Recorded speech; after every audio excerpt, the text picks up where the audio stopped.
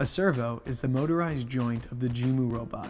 It is what makes the Jimu come to life by helping it carry out realistic movements. Each servo has an ID number to distinguish it from other servos. Each servo has five slots labeled A, B, C, D, E, which can be used to connect to other pieces. Each servo contains one rudder, which rotates to move the robot in different directions. Each servo has two 3-pin ports, which are used to transmit energy and information between the main control box and servos. Jimu servos are unique from DC motors in that they allow users to have more control over creating movements and actions. With Jimu servos, the user can determine the angle and speed at which they would like to move the servos, allowing for more accuracy and control. For example, with DC motors, you can tell a robot to move forward. With Jimu servos, you can tell it to move forward at an angle of 10 degrees and with a speed of 400 milliseconds.